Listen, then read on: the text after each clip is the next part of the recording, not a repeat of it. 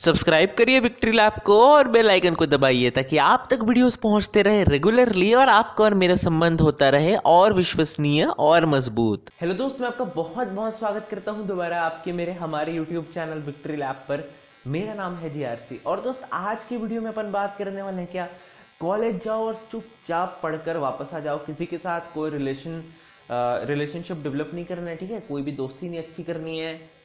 सिर्फ़ अपने एकेडमिक्स पर ध्यान देना है। सिर्फ़ एकेडमिक्स पर? या फिर लोगों के साथ रिलेशन अच्छे करने हैं? क्या इसका बेनिफिट मिलता है? इसके बारे में थोड़ा सा इनडेप्थ बात करेंगे। हमारे चैनल पर हम ऐसे ही तो करते हैं। कोई भी कंटेंट लेते हैं, चाहे कोई भी नीच का हो, ठीक है? नीच बोलो या निच बोलो, दोनों प्रोनाउंसिएशन सेम है, एक अमेरिकन एक्सेंट के तहत और एक क्या ब्रिटिश एक्सेंट के तहत। तो मैं नीच ही बोलूँगा अमेरिकन एक्सेंट के तहत। तो कोई भी नीच आप लो, कोई भी कैटेगरी लो अपन छोटी सी छोटी चीज़ को पकड़ते और इन डेप्थ में जाते हैं। तो कॉलेज लाइफ के बारे में थोड़ा सा डिस्कस करना तो बनता है। क्यों? ये अपने में ही एक समुंदर है। ये अपने में ही एक सागर है, अपने में ही एक दुनिया है। इसके बारे में बात करना बनता है। ठीक तो जब आप अपना ट्वेल्थ क्रॉस करते हो, उसके बाद जब आप कॉलेज में इंटर लेते हो, या फिर आप एक साल ड्रॉप करते हो, अपने कॉलेज के बाद फिर प्रिपरेशन करते हो देन आप कॉलेज में एंटर करते हो। कोई भी केसेस हो सकते हैं, लोग तो दो दो साल तीन तीन साल ड्रॉप करते हैं। कोई दिक्कत नहीं होता। ठीक है? सब चीज़ सही है। तो भैया, उसके बाद कई सारी चीज़ें आती है, ठीक? कई सारी चीज़ें आती है। कॉलेज के फ़र्स्ट ईयर में जाकर आप लोगों से मिलते हो। तो फ़र्स्ट ईयर में ना काफ़ी ज़्यादा एनर्जी रहती है। हम नए नए लोगों से मिलेंगे, बात करेंगे। तो इसमें भी दो कैटेगरी के लोग आते हैं। एक जो दो तीन कैटेगरी के लोग आते हैं। इनफैक्ट मैं तीन कैटेगरीज बोलूँगा। पहली कैटेगरी ऐसी है जो पहले से माइंड सेट बना के रखी है क्या? कि भैया आठों सेमेस्टर मैं इंजीनियरिंग की बात कर रहा हूँ, आठ सेमेस्टर या फिर आप बी का कोर्स कर रहे हैं, कोई भी तो छः सेमेस्टर जैसा भी है, या बीसीए का कोर्स कर रहे हैं।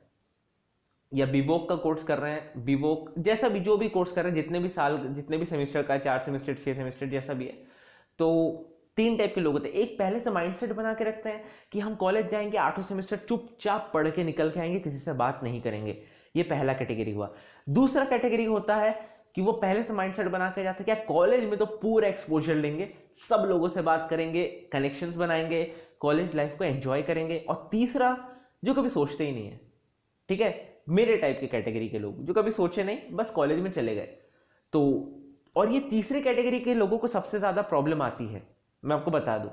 तो इन डेप्थ में चीज़ों को समझना ज़रूरी है। अब आते हैं पहले कैटेगरी में, जो लोग पहले से पढ़ाई को ही आगे बनाना है, अपने अपने कैरियर में, ठीक है? करियर में जैसा भी प्रनाउंस करो, अपने करियर में आगे बढ़ना है, और किसी से ज़्यादा बात नहीं करना, ऐसे मेंटेलिटी के लोग आपको मिलेंगे, और ये आपको पहले रियलाइज़ नहीं होगा।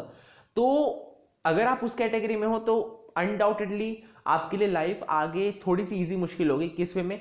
एकेडमिकली आपको कोई भी टक्कर नहीं दे पाएगा। अनडाउटेडली नहीं दे पाएगा आठों सेमेस्टर के बाद। बट आपकी ग्रूमिंग उतनी अच्छी नहीं होगी। अभी डिपेंड करेगा कि आप कौन से लाइफ के सेक्टर में जाना चाहते हो। सपोज़ आपकी फैमिली पहले से बिज़नेस इन्वॉल्व है ठीक है?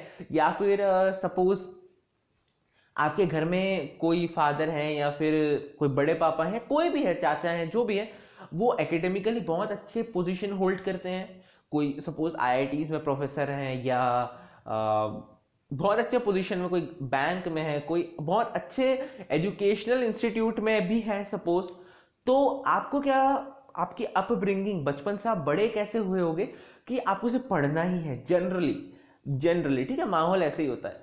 तो आपका भी कॉलेज में माइंड सेट रहेगा कि आपको बस पढ़ना है। और आपको पढ़ाई में ही आगे करियर बनाना मरते दम तक। तो आपके लिए कोई दिक्कत नहीं है, सिर्फ़ सिर्फ़ और सिर्फ़ आठवें सेमेस्टर पढ़ाई करना। किसी से मत दोस्ती करना, पढ़ के निकल जाना, आपके लिए लाइफ परफेक्ट होने वाली है। लेकिन लेकिन, यहाँ पे क्या दिक्कत आएगी? ये दिक्कत आएगी, अगर सपोज़ अगर आप उस कैटेगरी में यहाँ पर आते हो, कौन सी कैटेगरी में? कि भैया, अपने को तो सिर्फ़ मस्ती करना है। अगर आप उस कैटेगरी में आते हो ना तो दिक्कत ये बनेगा कि आप एकेडमिकली तो बहुत बर्बाद हो जाओगे।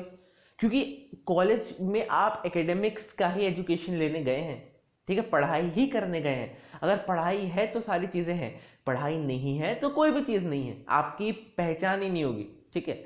हाँ एक्सेप्शंस हर जगह होते हैं अनडाउटेडली तो एक्सेप्शंस की अपन बात ही नहीं करते। मैं एवरेज लोगों की बात कर रही थी आप और मैं एवरेज हैं तो आपकी लाइफ बहुत ही दिक्कत वाली होने वाली है। सपोज़ आप कॉलेज में गए कि पूरे कॉलेज लाइफ को एंजॉय करना तो कॉलेज लाइफ तो पूरा एंजॉय कर लोगे।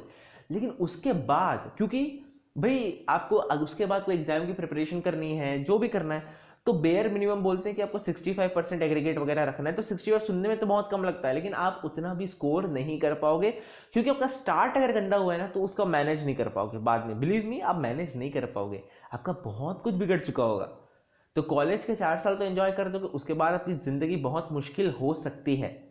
चांसेस हायर प्रोबेबिलिटी है कि आपकी लाइफ मुश्किल हो सकती है। ये। और तीसरा केस भैया, जिनको कभी मालूम ही नहीं है कि कैसे करना है, सोचते हैं कि पढ़ लेंगे कॉलेज जाके बट थोड़ा सा मस्ती भी कर लेते हैं एक्सपोजर भी ले लेते हैं, जैसे मेरे जैसे एवरेज लोग। तो इनका अगर सामना किसी फ़र्स्ट कैटेगरी वाले लोगों से हुआ रहता है, या थर्ड या सेकेंड कैटेगरी वाले लोगों से हुआ रहता है तो ये चॉकआउट नहीं कर पाते कि ये पढ़ते भी हैं और ये बाकी चीज़ों में बैलेंस भी बनाते हैं, लेकिन एक मोमेंट पर अगर खुद को संभाल नहीं पाए तो ये बिल्कुल नहीं संभाल पाएँगे, क्योंकि सेकंड कैटेगरी वाले ऐसे लोग हैं कि उनका पहले से मन कि क्या, वो पढ़ाई ठीक ठाक कर ही लेंगे बट उनको कॉलेज लाइफ एंजॉय करना है। तो कुछ भी हो जाए, एक बेयर मिनिमम वो पढ़ाई कर लेंगे। बट अगर आप सोच के गए हो कि मुझे पढ़ना है, लेकिन मैं मस्ती भी कर लूँगा देन अगर आप ठोस नहीं हो अपने स्टैंड पर तो अगर आप किसी पढ़ने वाले से टकराए तो हो सकता है आपका इमोशनल ब्रेकडाउन हो जाए। क्योंकि आप उसमें नहीं पढ़ रहे होगे ना क्योंकि पहले आप उसके पास सपोज़ जा चुके हो सेकंड कैटेगरी वाले के पास, उसके बाद अगर आप फ़र्स्ट कैटेगरी के पास जा रहे हो तो आपका ब्रेक डाउन होगा। डेफिनेटली ब्रेक डाउन होगा, आप संभाल नहीं पाओगे, क्योंकि फ़र्स्ट कैटेगरी एक अलग फ्रीक्वेंसी एक अलग वेवलेंथ पे चल रहे हैं, उनकी एनर्जी अलग वेवलेंथ पे, भैया आप मैच नहीं कर पाओगे। तो आपका माइंडसेट बहुत अच्छे से क्लियर होना चाहिए, ठीक है? उसके बाद ही सारी चीज़ें चॉकआउट होंगी। तो कॉलेज में जाकर पढ़ना है, किसी से बात नहीं करना है ये पहले ही आपको माइंड मन बना लेना पड़ेगा अदरवाइज़ बहुत दिक्कत होगी, बहुत सारे लोग इन चीज़ों के बारे में बात करते हैं और मुझे भी लगा आपसे बात करना चाहिए। तो बस दोस्त, आज की वीडियो में इतना ही। कैसा लगा नीचे कमेंट में ज़रूर बताना। कोई भी क्वेरीज हो तो बिल्कुल आके पूछ लेना। ठीक है, नए हो तो डेफिनेटली सब्सक्राइब करने बोलूँगा। काफ़ी ज़्यादा मोटिवेशन मिलता है। तो मिलता हूँ आपसे अपने अगले वीडियो में। तब तक के लिए खुश रहिए और दूसरों की हेल्प करते रहिए।